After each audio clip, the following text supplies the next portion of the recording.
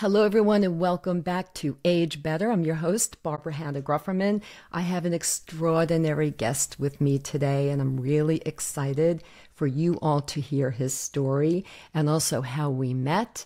Um, he had a horrific accident, which he will tell you all about very soon. But more importantly, what really struck me most about him when I met him, uh, which I'll tell you about in a second, is how he has this a sense of perseverance and resilience and mission, and nothing seems to stop Tyrone Fulgham. So, Tyrone, welcome to Age Better. I'm really excited to have you. So, I think that we really need to start off with okay, how the heck did you and I even meet to have this conversation? Because we have met. And I'm just going to start by saying that I uh, go back. A lot of people who listen to me and for a number of years, they know I go back and forth between New York City and Virginia. And so I was, and this was like, I want to say late 2022. And I was on a flight from LaGuardia to Virginia Beach, Norfolk Airport. And, um, and I had the great pleasure of sitting next to you. Tyrone. And so, uh, you know, I always like to at some point talk to the person next to me if I feel like that person's kind of open to, and not everybody always is. Right. And uh, we got to talking. And that's when you told me your story, which we will get to in a minute. But then something else also came up. After you told me your story, I then asked you, Well, I, I hear that you were living in Virginia Beach at one point, not that long ago. What were you doing there? And then you told me where you worked you told me that you worked at an assisted, one of the best actually, assisted living facilities in Virginia Beach. And as it turned out, that's where my mother was living. Yes.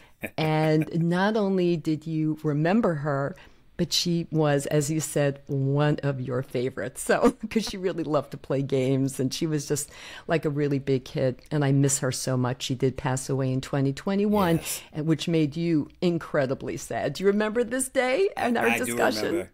I do remember. She, listen, your, your mom was a smart. Um, witty and no nonsense. Yeah, just uh, that was just it was one of those things that it was meant to be that we meet, and and sure enough, we did. But now I would like to get to your story. All right, so. Tyrone, please tell us. I already know your story. It's incredible. Tell us about the event of that day. What happened? Well, uh, it was uh, like any other day for me. I, I was out running. I was training um, to to do a qualifier for the Boston Marathon because that was always my my dream. Uh, I was running on a road in Auburn doing my regular eight mile route, and just before I was going to turn around, I crested a hill, and in a split second, a motorcycle came over the hill and slid into me. Uh, when it did, and, uh, and, there I was on the ground. uh, and the driver of the motorcycle, what did he do? Not much. He mm-hmm. he just kind of stood there. Uh, you know, I was on the ground. You know, you know, I had the capacity to say, "Hey, call nine one one, call nine one one," and he did nothing. Uh, fortunate for me, I had it had accident happened near a golf course, and some golfers nearby saw what happened. They came to me and said, "Hey, we called nine one one. What can we do?"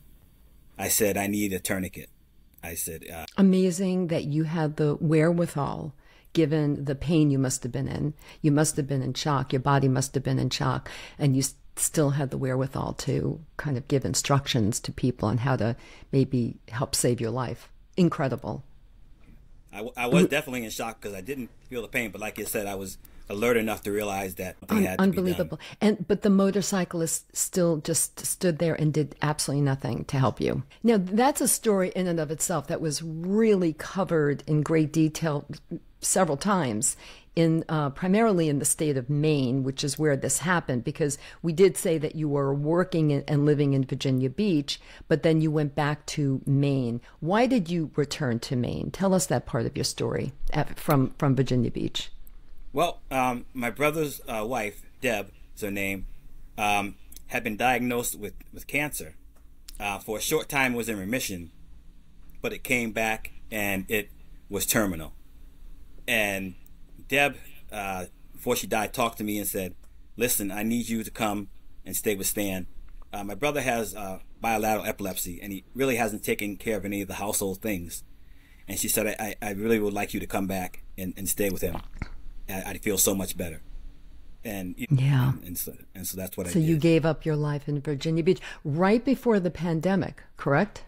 Correct. And, I, like I said, I love living in Virginia Beach. You know, mm-hmm. I. Mm-hmm. Mm-hmm. And so you went back to take care of family, take care of your brother. So you you did mention that you, in this horrific accident, you did lose a leg. You you lost your right leg. That's correct. And what and multiple surgeries. and, and what happened? What were you thinking in the, the weeks that you were experiencing all of these surgeries and uh, the realization that you had lost your leg? What what were you thinking? What what well, emotions first, did you have? Those first couple of weeks were uh, were uh, horrendous. Um, waking up in the middle of the night, uh, nightmares because you you, re- you relive it, you know, and you crashing into you. Oh. Wake up in pain. Uh, like I said, I, I had never felt anything like uh, just the emotions, you know, the despair, uh, the suffering. Uh, laying in a hospital bed for weeks is not fun. Um, countless infections, uh, the pain. I thought I could tolerate pain, and this was some of the worst pain I ever felt in my life. And so mentally, it really, really grinds on you, and you sometimes you wonder, you know, uh, you know. Yeah, for the first few, and then at some point you, what what happened that you kind of transitioned into a more positive state of mind? I probably number one, you realized that hey, I'm not going to die. I made it through. Here I am what is my mission? Can you that's tell exact- us about that? Yeah, that's exactly right. I said, "Hey, I'm going to live," and I had I had lost so many people already, and so that factored into I I lost an older brother, I lost my oldest daughter, um, and then my sister-in-law, you know, and so that factored in. I said, "Listen, I'm here. What right do I have to complain?" And that right then and there, I made a plan. You know, I'm going to get up, get up back on my feet so no at that point, then you did get a prosthetic leg, and tell us about that. So you, and then you started coming up with all of these goals to get back out there and compete again. Yes, tell us about that.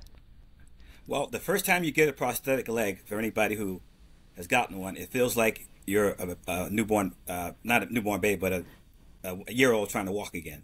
Mm-hmm. Because it's just like that. You have to learn everything over again. It's like you're standing on stilts. And so the process of that was very, very grueling. And uh, it took time. But the blessing of that is once you're standing again, you feel renewed.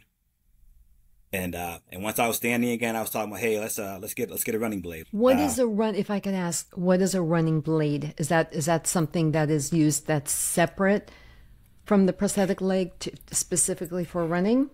Yes, it's a separate attachment. What you do is you unscrew your your leg and you then you attach um, for running. It's um if anybody's okay. like, like what we've seen uh, people who have running marathons, yeah. for example, or other races.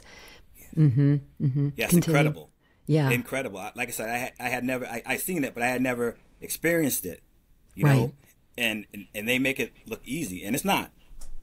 It is one of the most challenging things you'll ever do, but it's it's so inspiring and and so and, and invigorates you. Now, unfortunately for me, um, I was unable, and I said I attempted to run, but because of my li- the, the damage in my limb and the damage in my ankle, which was shattered, my left ankle, my leg that survived, my ankle was shattered. yeah, so let, us stop else. right there for a minute because when I met you, I believe it had been a year or less than a year uh, since that incident happened. And in fact, you were traveling from Maine that day from Maine, and you had to go to New York City to LaGuardia Airport to get to Norfolk Airport, which is where we were going. And that's how we had this chance meeting. And at that time, you told me that your goal was to run in the Boston Marathon. So you had not yet kind of realized, I think, at that point that you weren't going to be able to realize that dream, right? That is correct That is correct. So even like uh, physical therapy and uh, resting the ankle and or rebuilding it again, none of that was really going to work in the end. Is that what I'm hearing? That's correct because it's stru- structurally the ankle is not what it was. You know, it was put back together with uh, screws and plates, which were staying there, but they but it, they ended up getting infected, so they had to take them out because um, suffering osteomyelitis, which is a, which can which can recur in either my limb or my ankle, Yeah, and so um, and it, it- like I said, it's not like a person's normal sculpted together. It, I mean, Yeah, like you it. said, it was it was literally shattered Yes, and then Shattered. put back together again. I mean, but I mean, how did you feel? Because that was your your dream, the Boston Marathon, to run it at that time. How did you feel when you finally realized this is not going to happen? I mean, then you went on to another dream, which we'll get to, but this is not going to happen. How did you feel? I was devastated. Running, to me, is like breathing. That's that's what running is to me. That's how I felt. If I had any problems, any issues, I would run. You know, that, and that that would take care of it. Yeah. And and to not be able to run, to you know, I I, I would have avoid seeing races. I, I, I used to watch the uh, Boston Marathon, and for, the longest time, I would avoid watching it because And I have to know before this accident, had you ever run a marathon? No, I ran a half marathon. Mm-hmm. I uh, it's a great half marathon. It's up here up here in Maine. Um, it actually I don't know if you've ever been to been to Maine before. I have. Uh, yeah, so Acadia uh, National Park uh, has what they call a um, carriage trail that one of the former presidents had designed, and part of the marathon runs on that ca- carriage trail. It's a beautiful run, um, and that was my half marathon, uh, and I and I felt great. Um, and uh, yeah. I was in And, and boy, you life. sure picked a big one. The Boston Marathon, you have to be really good to get in, as we know. And that's why you were trying to qualify. But, Boston but- has always been always been the goal. Yeah. And uh, so you you do have a new goal now though. I mean That's correct. the Boston Marathon is still a goal. Tell us about that. Well, um, like I said, when I found out I, I couldn't run, I was looking for other ways to that I could compete. Right. And somebody suggested, "Hey, why don't you try a hand cycle?" And I had heard of hand cycle before, but I, you know, I, I remember a kid when I was growing up. He had a hand cycle, but it was a recreational type one, and, and he says they make competitive ones. So I looked it up, and I saw what they looked like. I said, "Hey, I'm gonna try to get one of these." Little did I know that a hand cycle, that I, a competitive hand cycle, cost eight thousand dollars. I'm like, oh, what am I gonna do? Um, I looked up certain charities and grants in uh, Asian, and I applied for a grant. Now I, I you know, I you know, I, I went through all the criteria. Um, I wrote them a letter stating to them what it would mean to me if they would grant me, uh, you know, the money to, to get this hand cycle. Uh, and I and like I said, I, I told them my story. I told them how much running meant to me, and I told them that my goal was Boston. And uh, the day that uh, that email came and said we have we have uh, you know accepted your request, I I mean I, I, I Oh, I'm so happy for you. So, when did this happen? When did you get that email knowing that you were that this new goal of yours was actually possibly going to become a reality? When did this happen? I believe yeah 2020 yeah March of 2023 Yeah. because it, yeah the process is yeah I got it March 2023 and then I was able to um, you know go to the go to the site uh, Top End Sports where they custom make make the hand cycle. They custom to, to your size and everything Yes. else and Yes. wow. Of course it has to be. It has to be. So do you, you currently have it? I mean, you have Yes, I it? do. I have it, Okay. yes. So you have you started training? Yes. Funny thing is now, and my and my my brother thought I was crazy. Uh, when I first got it, now it takes six to eight weeks to to to, to put it together because it's custom made. Oh, Um, And so when I got it, I got I think I got it in late June. There's a race here, a very famous race. Uh, Joan Benoit Samuelson, who was a who I've met before and is, is a fantastic runner marathoner, absolutely. hosts the Beach to Beacon 10K, and um, I Beach to had- Beacon, and that's in Maine, right? That is correct. That is correct. So I only had like six weeks to prepare. Okay. And so I said, "Oh, I'm gonna I'm gonna give it a try." My brother goes, "You're crazy," and you know, I said, "Never tell never tell me I can't do anything." and so, you know, like I said, I got in the hands. I didn't know the exact. Uh, at the end of the race, there, so what is your goal now for uh, doing the hand cycle uh, competition in the Boston Marathon? What is your goal? Like, when do you want to do it? Uh, I, wanna, I, know it's happening actually in April of this year, so it's every yeah. April. So next yeah. April or April yeah. 2026, what, what are you thinking of? I'm shooting for 2025. Um, mm-hmm. Like I said, um, there are, the problem with with Maine is there are not a lot of races that you know uh, have hand cycles in them. Um, so I'm in the process of trying to purchase a, a used van so I can have to store to store the hand cycle in and travel to races. So what I'm doing now is like I'm traveling to races to get some experience, and then I'm trying to find a qualifier because you have to. So Got it yeah. before the end of the year. Okay, so you yes. have time. So what kind of things are you doing now? Are you working with a trainer? Did you create your own training program? Did you go online and find find something? What What are you doing to get ready? For other races as well, as you just said, you want to do other races, but specifically for the Boston Marathon. Well, I did some research online. I also go to the gym, work out my upper body. I have a program that works out my upper body. Um, there's also a simulated cycling machine at the gym that I put in miles on that as well. And I have a training partner. I have a young man named Jeremy who uh, was was um, disabled at a young age. He's been he's been riding in a hand cycle for years, and so uh, we t- oh, that's amazing. Has he ever participated in the, the Boston Marathon or another marathon with the hand cycle? No, he is not, and because of me, he wants to do that. So we're mm. we're kind of helping each other. Oh, that's is, wonderful. Which is a great thing. That's really. Speaking of help, how did your family and friends in Maine? How did they help you during this really, you know, challenging time in your life? Really challenging, life changing time in your life. How have they been and supportive? Everybody rallied to me um, when I was in the hospital. Anything I needed, um, they were there. My my son and my daughter made a schedule mm-hmm. uh, in a book to, so people could visit. Um, uh, donated things. Um, my uh, what do you call it? my HR coordinator was there the second second day I was in the hospital to make sure I got my short term disability. I mean, that's everybody. Important. Everybody even my was ex, there. Yeah, even my ex-wife was there to help me on this journey. It's, it's just amazing. Now, and I've seen that in uh, some of the uh, news, the local news television interviews with you.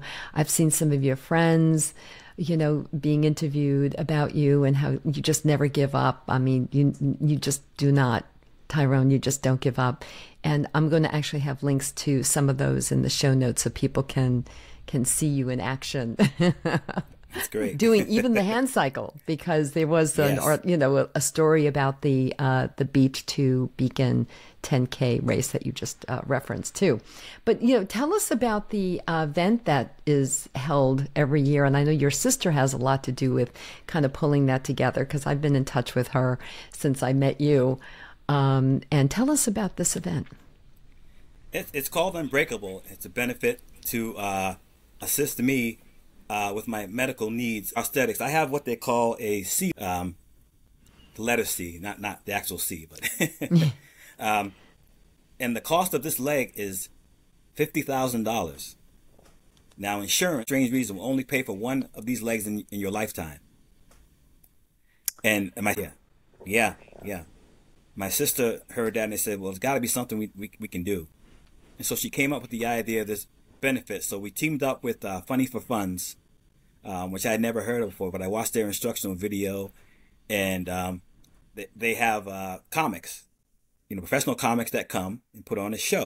You um, have auction items, uh, music concessions, and it, and it comes together to for a great great show.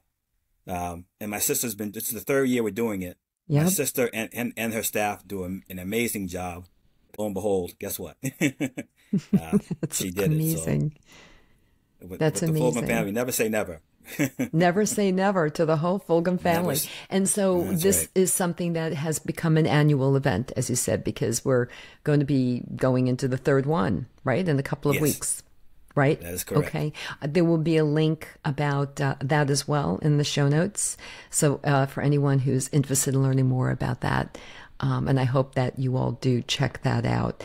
Um, so you do have your sights set on the Boston Marathon, what, and it's really just a you know it's just um, you have just shown such remarkable resilience and determination and a sense of mission that is really motivational, certainly for me. And I know it's for everyone who's listening in right now. But what are some of the goals you have? Well, like my first, like I said, one of my first goals is to get that van because I, I need that van. yeah, yeah, you do. So I'm hoping and praying. You know, uh, obviously financially I can't, but I'm hoping and praying that we can find some way to, to do that. Um, but my, my goal is, like I said, to to travel to these different places and participate in these races because that, that's what I love to do. When you know when you go to these races, uh, you meet different people, you know, and for different walks of life, and, and and part of that part of it is that for me. Also, part of it is the competitor in me, uh, uh, because you know when you're out there, it's you against yourself.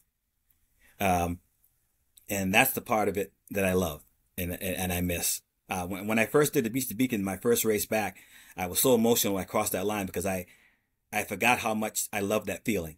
Tell me, Tyrone, what are some of the messages that you want to leave with our listeners? I want to tell anybody out there that if you're suffering, you know, if, if you have something debilitating happening to you, um, that you can turn it around. You know, I, I realized when I was laying on the ground that day that, um, and, and I knew I was going to live, that life is, is too short to, you know, sit on the sidelines. And if there's something that you want to do, you can do it. You know, mm-hmm. obviously through yourself, but also through help of family and friends. You can do anything you want. Mm-hmm. And, and, and when you do it, it's a powerful feeling. It's the most powerful feeling you can have. Mm-hmm. So thank you so much, Tyrone. I really appreciate you spending the time with me today. Is there anything else you want to share with the audience? Well, Barbara, it's, great seeing you again. Uh, I'm so happy that we met on that plane. And like I said, I, I miss your mom too. Mm-hmm. She was a wonderful woman. Uh, I, so many great memories, uh, especially on trivia days when she shout out the answer. I'm like, but she would she shout did. it out, and, and, even though you said don't do that, yes, oh yes. my goodness! Thank you for that. That's such a great memory. I really appreciate your your saying that. Absolutely. That's going to be making me laugh and smile for the rest of the day. And I really thank you. Thank you. All right, Tyrone, thank you again. I am so happy for you. I am so happy that you have this new goal and I I know that you will achieve it. There's no doubt in my mind. None. So, best of luck to you. And again, everyone, there will be links to all of this in the show notes. Please go and check it out. Learn a little bit more about Tyrone Fulgham. You will be so impressed. Thank you, everyone. Talk to you soon.